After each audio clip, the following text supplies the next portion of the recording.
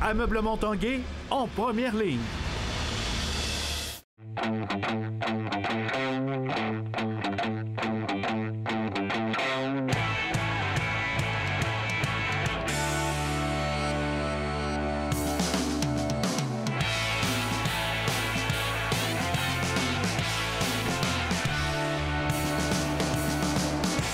Bon jeudi à tous, bienvenue à l'Esprit sportif. Dans l'émission aujourd'hui, Jonathan Fournier est allé faire un tour au camp d'entraînement des Chevaliers de Lévis. On parle de hockey midget 3. Mais d'abord, parlons football rouge et or. C'est ici, dimanche, contre le Vert et Or de Sherbrooke, que le Rouge et Or entame sa 25e saison au football universitaire. Et on a fait le tour de la formation avec euh, Richard Boutin, chroniqueur sportif au Journal de Québec.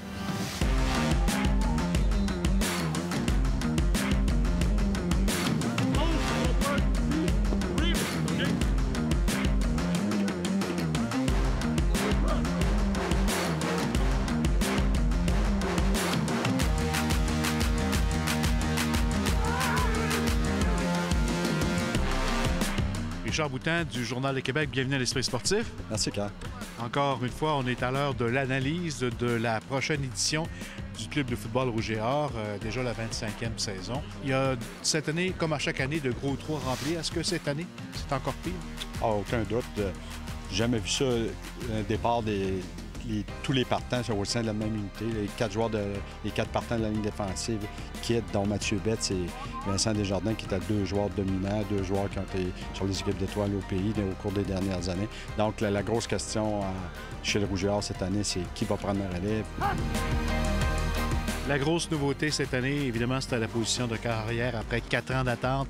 Samuel Chenard sera le guide de l'offensive du Rouge et Or cette année. Euh, c'est un gros changement. Ah, il n'y a aucun doute. Samuel, au moins, il connaît le système, connaît très bien le système de jeu. Il a aucun doute. Contrairement à une recrue qui arrive, lui, c'est vraiment la, la clé, ça va être l'exécution, puis la prise de décision, c'est lecture. Puis c'est sûr, c'est un corps différent de Hugo Richard, moins mobile, mais il a très bon bras. Je pense qu'ils vont pouvoir exploiter peut-être le, le jeu vertical parce qu'il a déjà mon- démontré qu'il possède un bon bras. Mais c'est sûr que c'est un point d'interrogation à ce moment-là aussi parce qu'il n'a jamais joué comme partant. C'est euh, Samuel de Chénard, maintenant au poste de quart pour le Rouge et Or, le numéro 8. Il connaît bien le système, puis c'est un gars qui est apprécié de ses coéquipiers. Il est là euh, depuis longtemps, puis il son tour, puis il sait que c'est cette année parce que c'est déjà sa cinquième année, donc c'est ça passe sous sa case cette année. Donc, euh, je pense que c'est certain que Laval va aller aussi loin que Samuel Chenard va faire. Diriger l'offensive du Rouge et Or, ça vient avec la pression?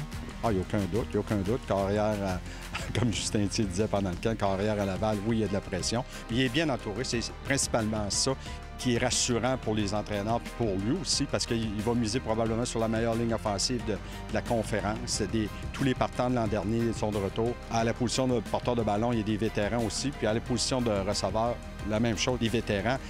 Probablement le meilleur groupe de receveurs de la, la conférence aussi avec, euh, avec Jonathan Breton-Robert, Vincent Fox-Monblot et Mathieu Robitaille, puis même un gars comme Marc-Antoine Pivin. Donc, un groupe très expérimenté. Donc, ça va, ça va aider beaucoup euh, Samuel.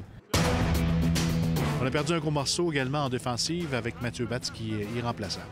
Ah, il n'y a aucun doute qu'il n'y a personne qui va avoir la, la- la production de Mathieu Bette, mais ça va être un travail d'équipe. Ça va prendre une contribution de tout le monde sur la ligne. Ça va prendre une contribution aussi possiblement accrue des secondaires, des demi-défensifs, euh, et une tertiaire expérimentée. Il y a deux départs, mais la ligne tertiaire va être une, une- une force du rougeur en défensif. Il y a un très bon groupe de secondaires aussi.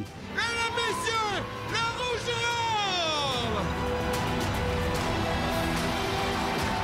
Au bout du compte, euh, Coupe Dunsmore, euh, Laval, Montréal encore une fois cette année? Ah, je pense bien, oui, aucun doute. Montréal a une très bonne équipe. Défensivement, seulement perdu euh, trois partants. Leur front défensif va être excellent encore. Ça va être la force de cette équipe-là. Donc, euh, Montréal ne donnera pas beaucoup de points.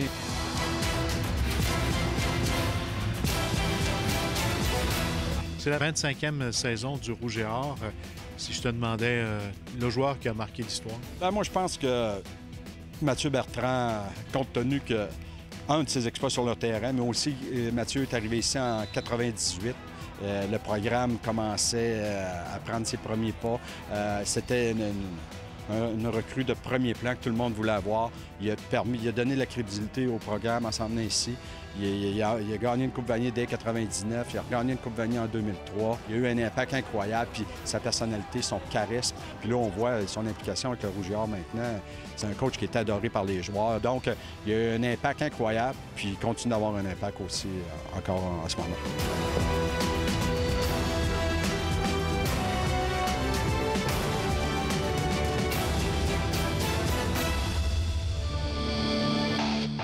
Les remparts étaient en action mardi soir au complexe sportif de l'ancienne Lorette à l'occasion du seul match pré-saison disputé à Québec durant le camp d'entraînement.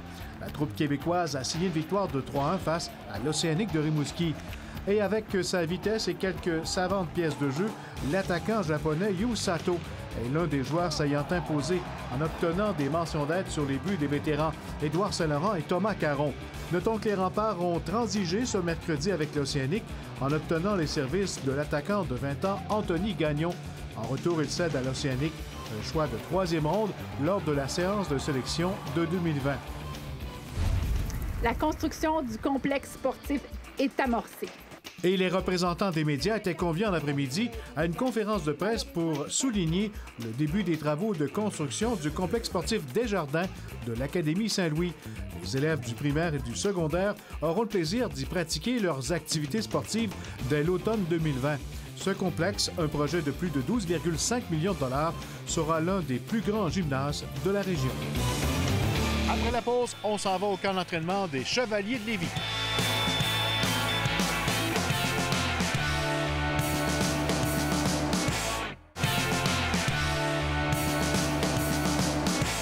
Parlons maintenant de hockey midget 3. Après une saison record en 2018-2019, les Chevaliers de Lévis entreprennent leur saison locale le 6 septembre prochain.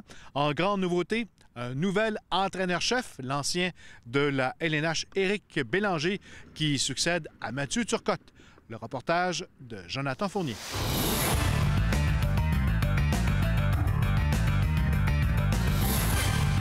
Éric Bélanger, bienvenue à l'Esprit sportif. Merci, mon plaisir.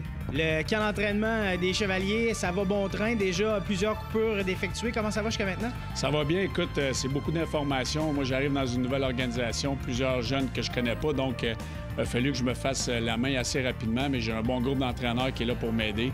Euh, et puis, lorsqu'on embarque à, analyser des joueurs sur la glace, je pense que je suis très à l'aise avec ça. Puis, euh, ce qu'on veut, c'est que les jeunes nous poussent à, avoir des décisions difficiles à prendre. Puis c'est sûr que les coupures pour un entraîneur, c'est pas la partie le fun, mais ça fait partie de la, business. Puis euh, à la date, je suis vraiment content de, ce que je vois.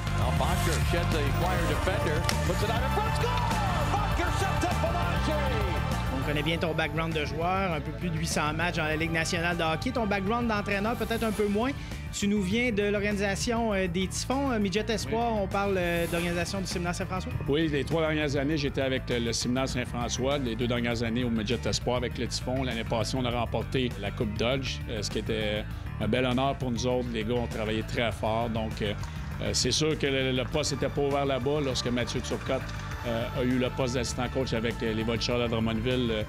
les choses se sont bien alignées pour moi, puis je suis vraiment content de réaliser un nouveau défi.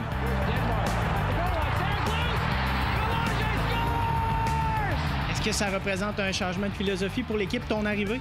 Non, pas pour moi. Écoute, euh, euh, moi, j'ai joué euh, dans la Ligue nationale. J'ai passé où ce que les petits étaient. J'ai été retranché. Je suis revenu dans le MJ3. J'ai été repêché dans le junior, dans la Ligue nationale. J'ai eu des bons, des moins bons moments. C'est ce que je veux apporter. Ma philosophie ne sera pas différente que lorsque j'étais joueur. Oui, les milléniaux que je les appelle sont différents à traiter de nos jours. Moi, c'était pas la même mentalité dans le temps, mais je pense que je peux amener un petit peu de cette philosophie-là euh, qui m'a aidé à réussir dans, le monde du hockey. Puis non seulement euh, je veux réussir à amener une philosophie qui va aider les joueurs euh, à réussir dans la vie, que ce soit non seulement au hockey, mais dans la vie de tous les jours s'ils ne deviennent pas joueurs de hockey. Cette passion que tu avais en tant que joueur, euh, tu, as appris à la transformer à une passion en entraînement? Écoute, je me sens pareil comme lorsque j'étais euh, un joueur de hockey puis je voulais me rendre à la Ligue nationale. Là, je suis coach, j'ai la piqûre, j'ai la passion. On compte pas les heures qu'on est ici, puis de, voir les jeunes se développer puis d'être attentifs à ce qu'on le, démontre, c'est vraiment valorisant. Puis ce que je suis capable d'apporter de ce que j'ai vécu dans mon, dans mon passé pour les aider, c'est ça que je recherche. Puis je mentirais pas que le même, la même chose que lorsque tu es joueur de hockey, tu veux monter. Mais je pense que j'étais à la bonne place au bon moment pour apprendre. Puis euh, je je suis très content de faire partie des Chevaliers. En termes de nombre de joueurs, tu en as combien sous ta garde en ce moment? Beaucoup de gars euh, dans les camps juniors qui vont revenir. C'est un peu euh, compliqué de composer avec tous ces allers-retours. Là, on a 21 joueurs. À partir de jeudi, il faut avoir une liste de 20 joueurs. Et euh, il y a un repêchage avec les autres joueurs qui seront libérés de, à l'entour de la Ligue Jet 3 pour finaliser nos équipes le 28. Donc, euh, il y a beaucoup de technicalité là-dedans. Il faut analyser ce qu'on a, ce qu'on va revoir du junior majeur et puis prendre des décisions. Pour vrai, il va falloir que je travaille. Euh, les gars ici, ils veulent faire le club tout autant que moi. Puis il va falloir que donner mon 100% même si je reviens d'un niveau plus haut. Ça veut pas dire que ça va être plus facile. Comme lorsqu'il jouait à LNH, il y avait beaucoup de. C'était un joueur qui était tout le temps sa rondelle, faute zone. Il il veut nous transmettre exactement ça. Alors, saison 2018-2019, les Chevaliers de Lévis n'ont été défaits qu'une seule fois et ont battu le record de victoires consécutives avec 34.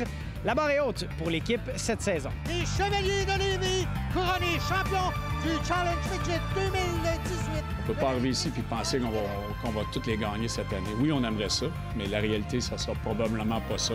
Donc moi, je veux pas que ça, ça soit une pression inutile, mais je veux qu'on mette la barre quand même haute, euh, se donner des objectifs réalisables. euh, mais de penser qu'on peut réaliser la même chose qu'année passée, ça serait mentir à nos joueurs. Donc, on va mettre un standard euh, interne, puis en espérant qu'on on va pouvoir le réaliser. On ressent pas vraiment de pression. En tout cas, de ma part, je ressens pas de pression. On va juste essayer de aller euh, du mieux possible, là, puis avoir une bonne saison encore cette année. On va essayer de faire euh, encore le plus qu'on peut, puis on verra qu'est-ce qui arrive. On ne pense même pas, ça va être un, une- un match à la fois. Euh, ce qui arrivera, ce qui arrivera, mais on sait que ça va être dur, à- vraiment dur à battre, faire comme l'année passée. Mais on, on a confiance. Ce qu'on va amener, c'est c'est une philosophie d'équipe, de travail, puis de ce qu'on demande de s'améliorer à tous les jours. Puis je pense que le reste va, prendre soin de, lui-même. Et en terminant, je vous rappelle que la 25e saison du club de football Rouge et ben, ça débute ici dimanche contre Sherbrooke. Voilà, c'était l'Esprit sportif. Avec tout le monde, à demain.